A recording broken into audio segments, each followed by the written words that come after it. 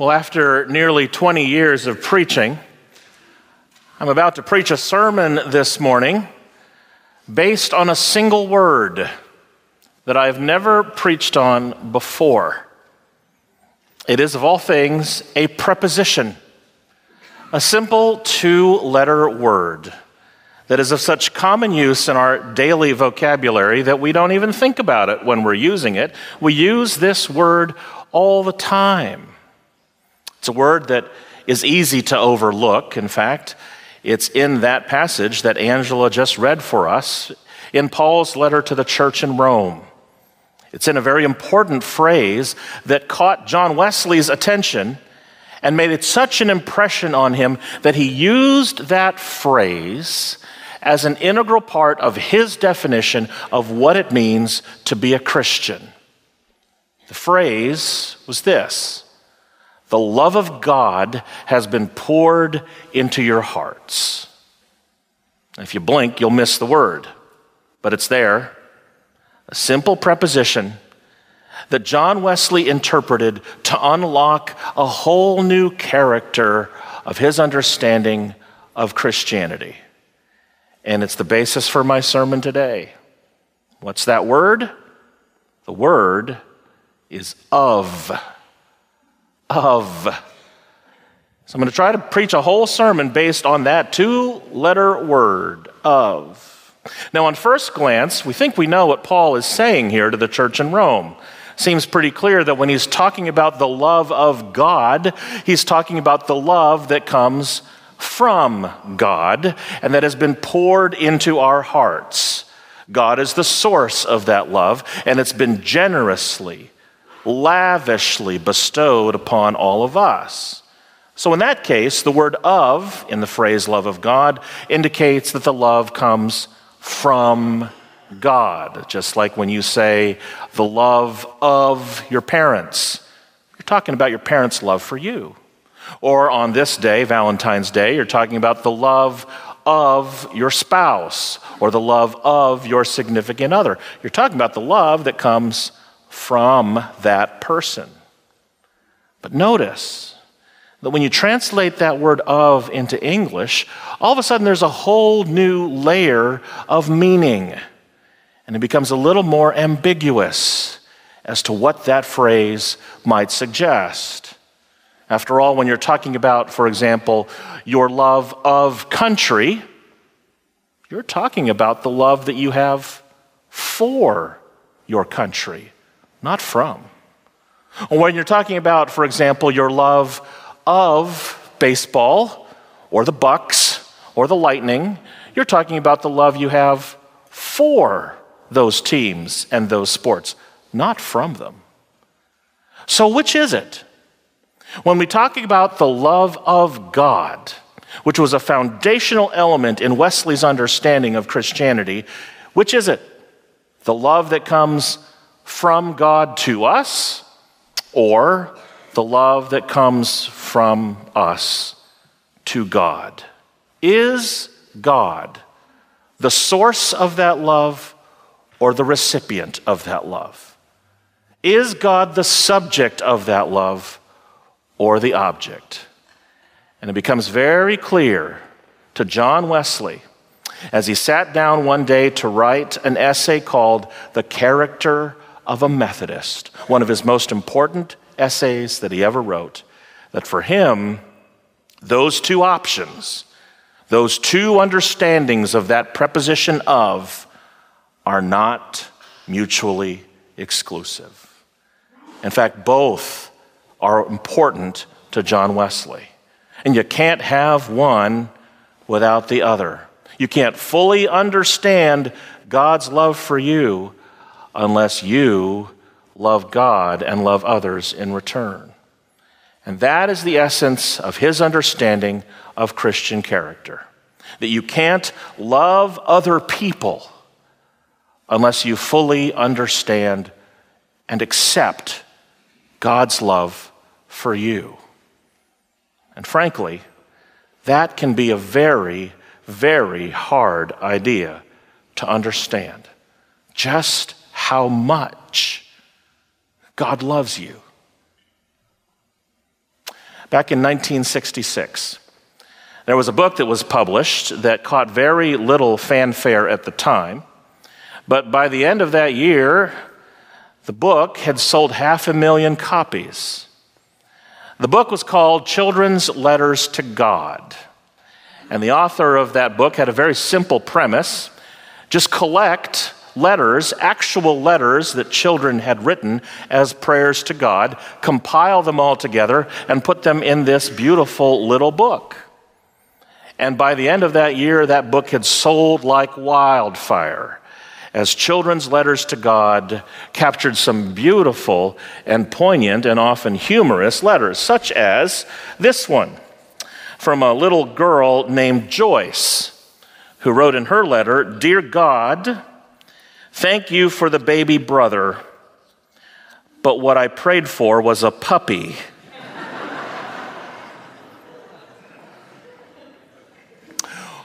or a letter to God from a little boy named Larry Dear God, maybe Cain and Abel would not have killed each other if they had their own rooms. Larry says, It works with my brother. But then, of all the letters, this one caught my attention the most. From a little girl named Nan. Nan wrote, Dear God, I bet it is very hard for you to love all of everybody in the whole world. There are only four people in my family, and I can never do it.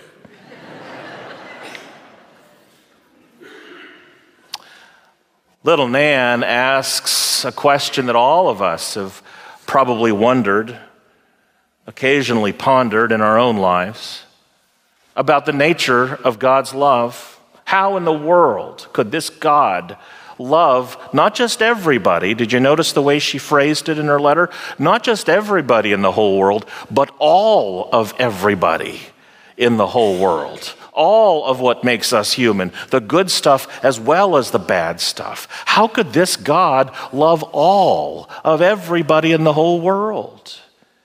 You spin it out even farther, you realize just how profound Nan's question really is. How could this vast and transcendent God, this God who created all things into being, this Lord of the universe, the one who's, by whose very word all things came into existence, this majestic, infinite, transcendent God, how could that God love us? How could this God, who is so righteous, so pure, so perfect, unblemished in every way, how could this holy God love even the most vile, the most sinful and broken person in the whole world, and even love the wickedness that's inside all of us? How could this God, who is so infinite, boundless, limitless, love us with a love that is so lavish and generous, and love even such finite and frail and faulty creatures as us. Gotta love Nan's question, because it's a question that all of us can wonder Dear God, dear God, how can you love all of everyone in the entire world? I mean, we even struggle to do that with members of our own family. And I suspect that before I go any further in this sermon, this is the entry point for so many of us this morning in the sanctuary for the sermon today. As many of you may be sitting there in your pew in the sanctuary and wondering to yourself, how can God love me? With all of my past, with all of my sinfulness, with all the things that I've done, even with all the things that I'm struggling with right now, how can this God love me? Maybe there are some of us this morning who are having a really hard time trying to get a grip on what unconditional love, that unconditional love of God looks like because you have never experienced unconditional love from anyone else. Especially from those people that you thought would unconditionally love you. Those relationships have proven to be faulty and broken, full of betrayal. And it's put you on edge. And so you have never been able to understand anything close to an unconditional love. Maybe you've been broken so much in your life that you, by other people who have wronged you, that you can't possibly understand how God could love the perpetrator of such harm and such wickedness in the world, even and especially when you have been that perpetrator yourself. Oh, it's hard. It is hard to get our heads around a love so amazing, love so divine. This love of God that has been poured into your heart. How can we possibly accept that or understand that or believe that today? One of my favorite children's stories that I used to read to my children back when they were very young is a book that perhaps many of you have read at one point. It's called The Runaway Bunny by Margaret Wise Brown. When I read that story to my girls, little did I know that when I had that book in my hand, I had more than a child's story in my hands. I actually had a theological textbook in my hands too. Because I want to share with you a few excerpts from that story, but this time don't think about the little bunny and the mother bunny in the story as being part of a child's fable. Think about it in terms of your placement in the story as the little bunny who wanted to run away, and God as the mother bunny. Once upon a time, there was a little bunny who wanted to run away. So he said to his mother, I am running away. Well, if you run away, said his mother, I will run after you, for you are my little bunny. Well, if you run after me, said the little bunny, I will become a fish in a trout stream, and I will swim away from you. Oh, if you become a fish in a trout stream, said his mother, I will become a fisherman, and I will fish for you. If you become a fisherman, said the little bunny, I will become a rock on a mountain high above you. Well, if you become a mountain, a rock on a mountain high above me, said his mother, then I will be a mountain climber, and I will climb to wherever you are. Well, if you become a mountain climber, said the little bunny, then I'm going to join the circus and I will fly away on a flying trapeze. Well, if you go flying on a flying trapeze, said his mother, then I will be a tightrope walker, and I will walk across the air to you. Well, if you become a tightrope walker and walk across the air, said the bunny, then I will become a little boy, and I will run away into a house if you become a little boy and run into a house, said the mother bunny, then I will become your mother. And I will catch you in my arms and I will hug you. Shucks, said the little bunny. I might just as well stay where I am and be your little bunny. And so he did. And the mother bunny said, Have a carrot. Oh, before we go any further, let's underscore that the Bible is very clear about one definition of of. It is the love that God has for you. A love that is infinite and high and deep and wide And there is nothing that can separate you from that love that has been poured out into your hearts. Not trickled into your hearts, not dabbed into your hearts, not just sprinkled into your hearts, but poured lavishly, generously into your hearts. You are the recipient of the grandest and greatest love that the world would ever know. God loves you. But John Wesley would want to go one step further. He recognized in that little preposition that there is a flip side to God loving us. And it is none other than the fact that if God loves us, then we need to love God and love others as well. In the first passage that Angela read for you this morning, it begins with the Pharisees asking Jesus a question Jesus, what is the greatest commandment of them all? Of all the commandments that were given to us by Moses, of all of the laws that define our faith, what is the single most important action that we can take? What is the one most important thing that we must do, Jesus? What's interesting is the way that Jesus answers that question. He answers it by saying, Love. Love is the most important thing. But let's be clear when Jesus is talking about love in this case, he is not talking about February 14th love. He's not talking about Valentine's Day love. He's not talking about candy hearts and diamond rings and chocolate roses. He is talking about a kind of love that is so much deeper and so much more and requires so much more of us than those things.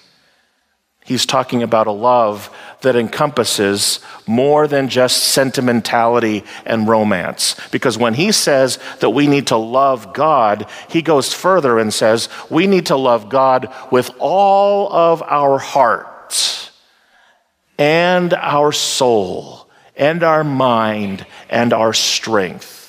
He's not just talking about a sentimental love or an affection that we need to have for God. He is talking about a love that encompasses our entire being.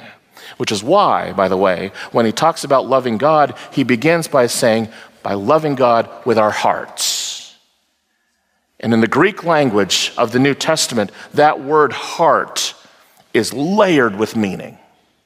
The Greek word for heart is cardia which we often associate with cardiology or cardiac, related to that singular organ in our body that pumps blood throughout all of our body.